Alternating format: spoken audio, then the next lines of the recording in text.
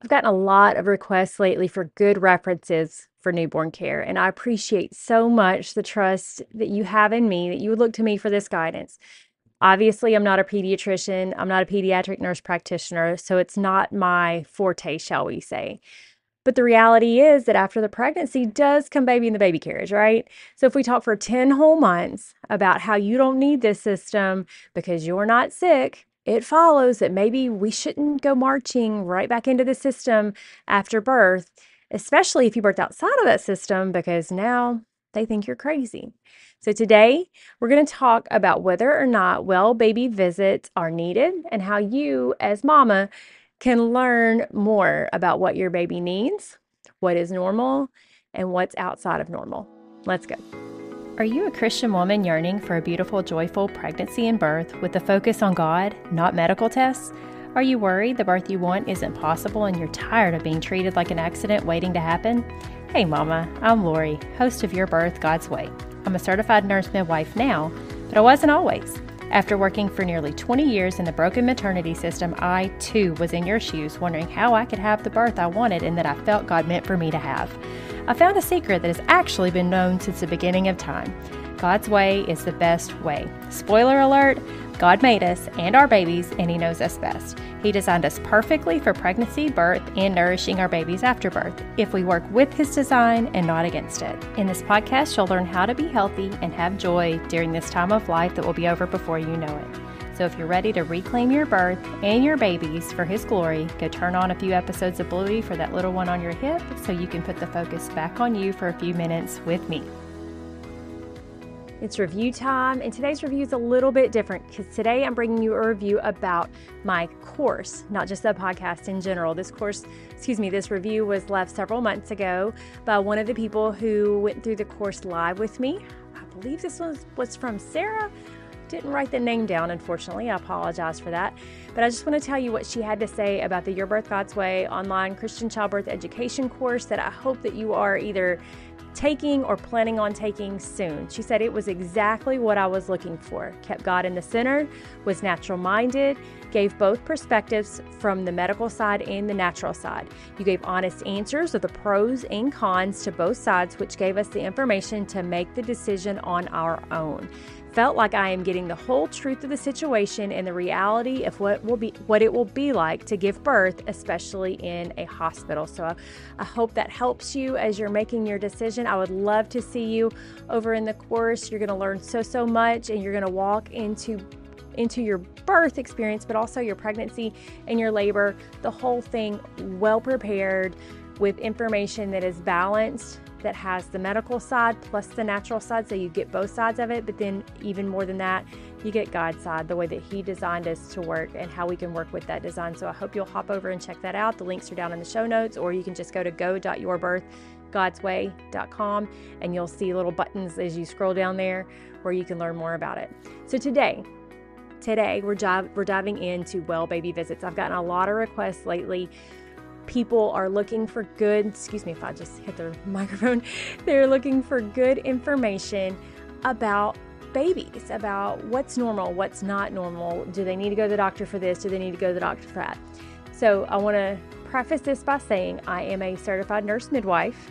Midwifery education includes taking care of the baby for the first 28 days of life. Okay, so about four weeks. That means I'm not an expert.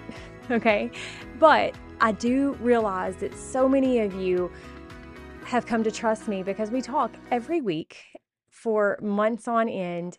And so I want to be able to give you some good information for what you can use beyond those 28 days. If you deliver at home with a midwife, in those first 28 days, your midwife can help you a whole lot. And she knows when she needs to refer you further if it's something that really is outside of normal to where you need extra care.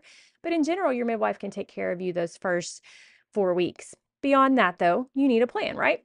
So we're going to talk with that. Uh, talk about that today. So, as with all episodes, though, I want you to understand these are my opinions, and I'm not advising you for or against anything. I really never am. My goal of this po- podcast is not to convince you of one thing or another. My goal of this podcast is to give you information from a Christian perspective that gives you the balance of the natural side, the medical side, and all the in betweens with an emphasis on God's design so that then you can decide what is best for you and for your family. I always want you to do your own research and to decide what is best for you. Don't don't go based on what I tell you because that might be what's best for me and it may not be, be what's best for you. I want you to own your care. I want you to evaluate your situation using your intuition and your wisdom to decide what's decide what is best. This is a very controversial topic and for good reason because our babies are precious and we have been led to believe that the only way to keep them safe and healthy is to turn them over to people with letters after their names to tell us that they're safe and they're healthy. But do we find this in scripture? I mean, don't get me wrong. I'm not talking about needing help when there's a serious injury or maybe a serious illness. I'm talking about normal day to day wellness and just knowing your child. The Bible never tells us to turn over our parenting or our, our knowledge or our intuition for what we know of our children over to somebody else. We are the parents. God gave your baby to you. You are the one who brings it up, raises it, nourishes it, and does all those things. So just because you don't have a degree from a medical college or a nurse practitioner program or anything like that does not mean that what you know about your baby is invalid. Okay. That being said, there is definitely benefit to medical knowledge, and the Bible does reference doctors. Luke was a doctor, we think. So I don't want you to think that they are of no use. That is absolutely not what I'm saying. I just want you to use your critical thinking to decide where and when that knowledge that they have is best applied. I have lots of friends who are doctors. I have lots of respect for the education and training they've gone through.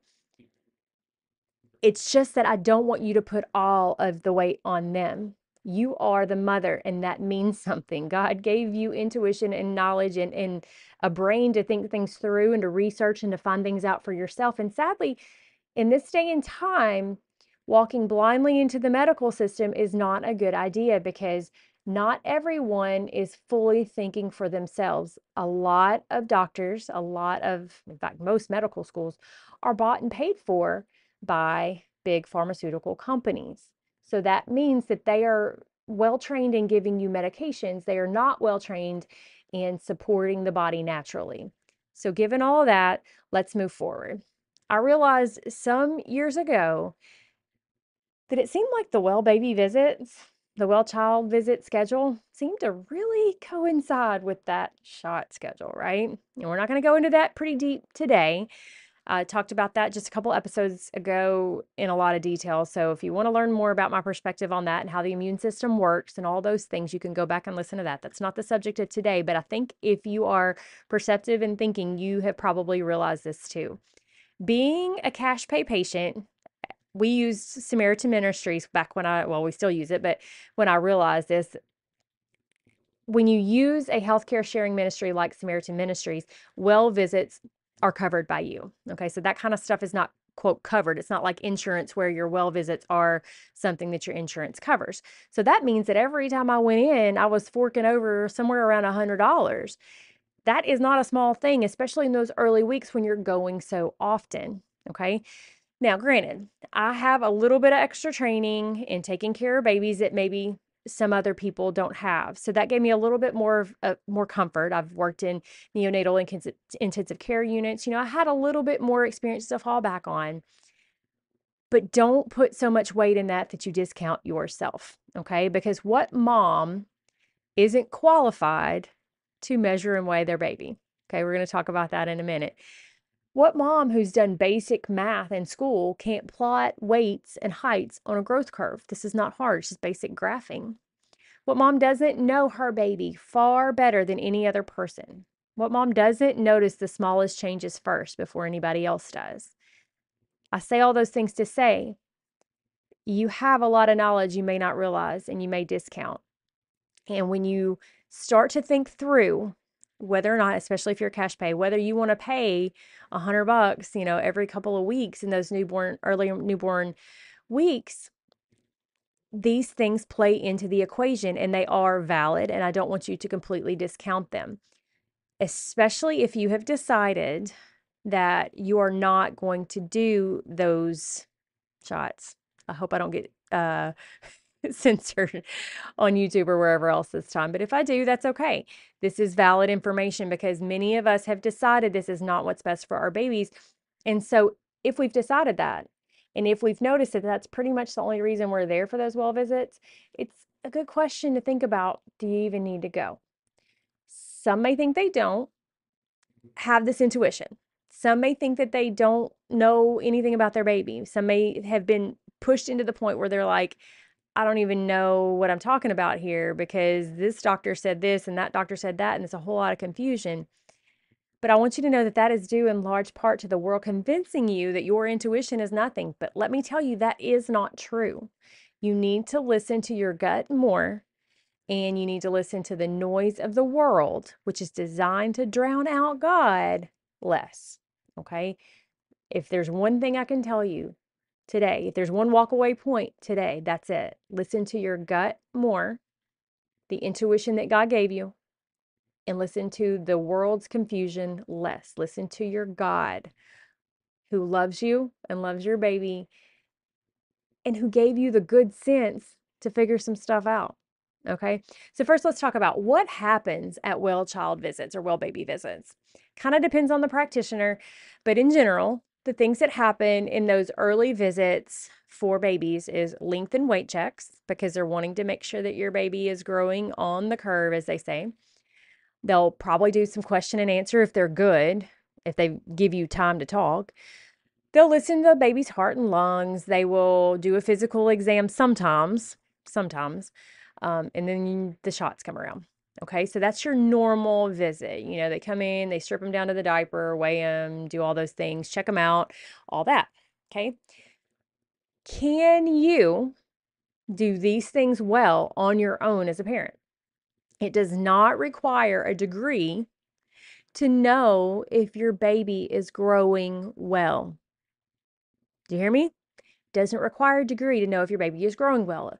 The world has convinced you you can't breastfeed and your baby's not going to gain enough weight and all these things, right? It's not always true. In fact, with my kids, they were growing so fast, they were on the upper end of it because the milk gives them everything they need and more they are strong and healthy. You don't need a degree to know whether your baby is growing well. I personally do have the degrees, and that made me feel a little bit better about my ability to draw back from the system. The system that I believe wholeheartedly is making us sick because I knew the things to look for. But that doesn't mean that you can't do the same. We're going to talk about some ways for you to do that here in a few minutes. I just want you to remember that you can weigh a baby. There are pretty simple ways to do that. You don't have to have the big medical scale, even if it's just holding your baby in your arms and weighing that way, and then putting the baby down and weighing yourself and doing the subtraction. Then you can figure out what the baby's weight is. You're going to need a scale. It's a little bit more accurate for that, just so you can get down to the ounces. But that's not that hard. And then you can take the weights that you get and you can plot them or just write them down and see that your baby is growing well. In the show notes, you're going to find a link for growth charts. You can get growth charts that you can plot your own baby's weight on yourself. I did this, I have them in my baby books for all three of my kids. And that way you can see for yourself if they are growing on, quote, the curve. Now, a word about the curve. There are curves for breastfed babies and there are curves for formula babies. If you get one that doesn't specify breastfed, it is probably just the one that is based on all babies, which will include formula babies, which are not the same. They don't gain weight on the same at the same uh, excuse me at the same rate in the same way that breastfed babies do. So try to look for, and I didn't check, and I apologize for this. I didn't check to see if there is one on that website. It was the CDC website. But if there's not, you can look it up. You can just Google, you know, breastfeeding growth charts to where you can find a growth chart that is appropriate for the way that you're feeding your baby. It does not matter if your baby is on the upper end of normal or the lower end of normal. What matters is that your baby's growth trends, shall we say, are consistent. Okay. So that means that if we're growing at a certain rate, we kind of keep that up and there's not a sudden drop off, if that makes sense. So that's really what matters the most is that they're just having consistent growth and consistent weight gain and that your milk is consistently transferring to the baby well. And beyond that, you really just don't need to worry. And half the time, I mean, you don't, I, don't want you to go home thinking, I've got to start weighing my baby. No. If you have no signs or symptoms that your baby's not growing well, quit worrying about it. If you're feeding your baby every two, three hours on the early days and maybe closer to three hour, every three hours, maybe closer to four hours as they're getting a little bit older, you are fine as long as the baby's gaining weight and looks healthy. I don't want you to worry yourself sick. That's the big thing. It's like, I don't want this episode to put stress on you to where you are having more anxiety. No, this episode is designed to give you less anxiety. And I hope that is what the end game will be. Let's talk about some alternatives to traditional care providers. So, there are obviously pediatricians whose specialty is taking care of children. Okay. Sadly, most pediatricians are going to want you to only do things one way, and that is the way of the CDC, which is going to tell you to take I don't know what's it up to 80 or 90 shots some somewhere in that range in the first 5 years of life. If that's not your cup of tea, like it wasn't my cup of tea, then you might want to look into finding either a pediatrician who supports your choice, supports you as a parent as for being able to make your own choices, truly supports you, doesn't make you feel bad, or find a or a, an alternative care provider. What are some alternative types of care providers? People like naturopaths, people like homeopaths, people like chiropractors, people like family doctors, family practice doctors who still um, practice in a way that truly is family care and not just algorithm based or doing what the drug companies tell them. They are still out there. They're a little harder to find, but they're there. And there's others as well. And I'm sure that you know some. I would encourage you to look for those groups on Facebook of the natural minded moms in your area, the crunchy moms, for lack of a better term, because that's where you're going to find the people who know how to find these types of practitioners if you don't know yourself. Now, sometimes just a simple search on the internet will help you find people, but sometimes it's a little harder. They're not always um, as mainstream, so sometimes it's harder to find them. But the people around you who think like you will be able to help you. Look for those people. So let's talk about some ways that you can need a care provider less. Okay, because our goal is to be healthy and have healthy, well children to where you don't need care, right? You don't need this quote health care that's not even health care in our country. It's more like sick care, right? But I digress. What can you do to need these providers less, to to have less of a need for ever even going there? Nourish your body well throughout pregnancy and nourish your baby well after pregnancy. Give birth naturally so that you are not getting extra drugs into your baby's system and you're not impacting the way that your baby is born. Your baby is born the way that God intended it to be. So it's getting things like good lung squeeze when it's coming out, it's getting good microbiome from your um, vaginal flora as it's being born. All of these things, uh, things like delayed cord clamping, and really it ought to just be like I, don't even know why that's a thing, calling it delayed cord clamping. No, you just wait because the placenta's not done yet. Let the placenta finish doing its job so that the baby gets all of its blood back before you sever that cord. Things like this are going to make a big difference in the baby's overall health leading into those first several months. Then breastfeed exclusively at least six months, at least and then continue to breastfeed even after your baby starts to show interest in food and is starting to eat things. Still mainly breastfeed. Your baby's main source of nutrition for the first year of life should be breast milk. That is a way to make sure that your eh, that your baby is as healthy as he can be and so that you need a care provider less. Do not feed conventional cereals or formulas or any other processed foods ever ever. That stuff, I don't even know how they call it food. It is laced with all kinds of chemicals, not to mention the pesticides and um, the herbicides that are on it that were sprayed on these things before they were processed into cereals or what have you. Make your own baby food. If you if you desire to go the baby food route, some people don't go that route. Some people just start giving them um, foods that are like finger foods. But if you go the baby food route, try to make your own using food that you've grown or that you know the source of that doesn't have any of those chemicals that we just talked about on it. And then just know your baby well. Baby wear them, you know, like with the carriers and different things to where your baby's against your body at all times. So you know them well and they're right there with you and you sense anything that might be out of the ordinary early. Stay home with your children and you're going to know them better than anyone when you turn them over to somebody else for, you know, 8, 10, 12 hours a day and you're only getting a little snapshot at the first of the day and the end of the day, you really don't know them that well. You don't know what's normal for them as much. So if at all possible, find a way to be home with your baby so you know them well. And then co-sleep safely so that you have them near you at night, which helps them to be regulated by your body at all times, as well as continuing the nourishment and nutrition through the night with those um, through the night feedings. If you want to know more about co sleeping and how to make that safe, go back to episode 90. We talked about that there. Then we want to get some good books. We need to have a good library, a good reference library to have places to go when you have questions. When you're like, yeah, is this normal? Is this not normal? You need a place to go. Okay, so let's talk about some places to go. Place one is a an old book. And if you're uh, watching anywhere, if I use this as a clip, don't go looking on YouTube for this whole video. It's not all there. but if you're finding clips later, I'll show you that this book right here, it's an old book and it looks a little bit blurry on the screen if you are able to see it. How to Raise a Healthy Child in Spite of Your Doctor. And this is by Rod, Robert Mendelsohn.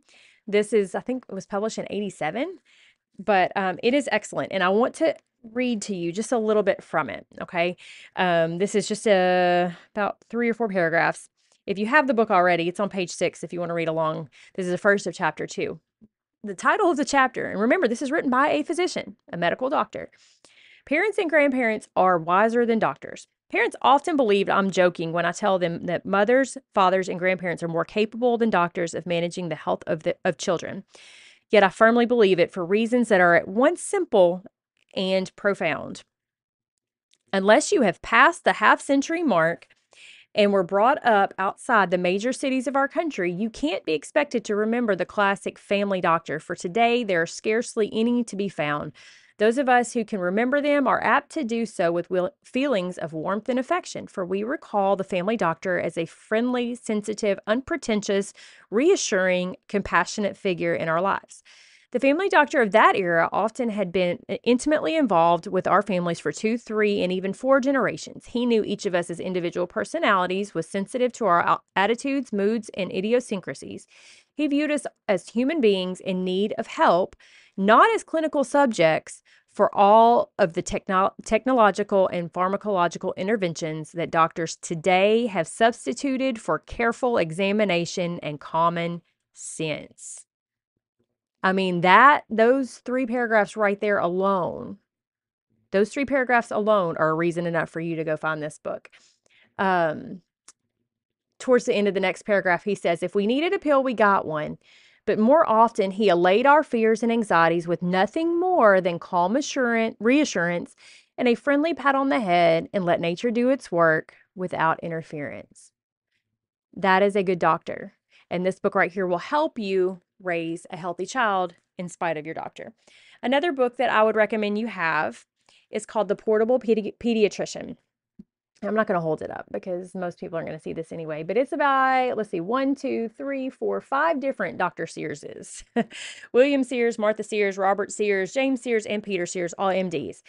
Um, the reason that I like this book a lot is because at the beginning of the book, it goes through what is done at each of the well visits and about when they happen. So you can go through there and look and you can see for yourself what they do with the visits and whether or not that's something that you think needs to be done or if that's something that you think you could do yourself or if you think you need to go in and have a physician do that for you. It gives you the ability to make the decision yourself. And then towards the back, it goes through every symptom, illness, whatever under the sun and what it means, what they're going to do in the medical system. So then you can decide for yourself what to do with various situations. Now, all these books that I'm going to mention are in the show notes below and also on my resources page. So you can get the links. You don't have to like write them all down, they're all down there. Another good book is called Be Your Own Doctor. I actually got this book, or I didn't get it from my Amish friends, but I got it because of my Amish friends because we were having a conversation one day when I was up there visiting and getting some things from them. And she had this book, um, the lady that I go to um, every two weeks, she had this book sitting out. So we started talking about it. So I came home and ordered it. And um, it's a really good book. It goes through all kinds of older um, remedies that have lots of validity, but no one really does them anymore. So I would encourage you to to look that up and see if that's something that might um, fit well on your bookshelf. And then there's also that same, I think it's the same author wrote "Be Your Own, Be Your Child's Pediatrician." Same idea. This one's just aimed at children. So those are four books that I would recommend you have um, just as reference in case you need them. That all being said, let's talk about some big things to be aware of in newborns, okay? Because most of your babies are going to be totally normal and you really don't need, quote, need well child care for them most of the time. They are healthy. Why would we take a healthy baby to a place where sick children go, right? That's kind of the side I fell down on. I just decided that my babies were not sick and I didn't need to go to a place where sick people went. Same way as I don't think that pregnant women need to go where sick people are. They're not sick, they're having a baby. It's not a sickness. But sometimes babies do get sick, as we know. So, some things you need to be looking for and aware of, and just kind of have them in the back of your head. I don't want you to stress about these things. I don't want you sitting there staring at your baby, scared to death. You don't have to put these monitors on them to where you can watch them every second of the day. That's not necessary. But these are just things to have in the back of your mind as things to be aware of. Thing one, a temperature over 100.4. Now, that is pretty low for like most kids, older kids. If 100.4 fever for most kids is not something you necessarily have to be seen for. But for a newborn, it is something that you don't want to ignore because any temperature in a baby needs attention. Okay, any temperature at all. So if your baby gets a temperature of 100.4 or higher, you need to have your baby seen. If your baby is lethargic, that means truly like floppy, you can't wake them up for anything. And I'm not just talking about they're in a deep sleep, I'm talking about like they're sick, they've got that sick look to them, and you just can't get them to wake up. That is definitely something you need to be seen for. If they have fast or labored breathing, babies very often, in fact, almost always, tell us they are sick through their respiratory system. And so it's not, and I, I, mentioned the temperature, but very often the fever is not the first thing you're going to see in a baby. Very often the first thing you're going to see is either a high breathing rate, something over 60 breaths a minute. So like every, you know, every second they're maybe breathing more than once per second. It, you, you notice it. They look like they're breathing too fast that or if they're having accessory muscle use that means retractions. Maybe you might see their nose flaring you might see the muscles under their ribs kind of sucking in and things like that. Anything like that is showing that the baby's having to work a little bit harder to breathe and they will maintain for a long time and then they won't and quickly they can go from being okay to being sick. So if your baby's breathing too fast or showing signs that they're having to work harder to breathe then you would want to get them seen the baby's not having enough wet diapers, a rough guide is about the number of wet diapers per day of life. So up, up till six days. So if your baby is four days old, you would expect about four wet diapers a day. If your baby is six days old, about six wet diapers a day. Past that, it doesn't just keep going up. Six wet, six wets a day is about right. Um, but that's just a rough guide. It doesn't have to be exact. You'll get to know what's normal for your baby, but as long as they're feeding well and giving you wet diapers, that's a good sign.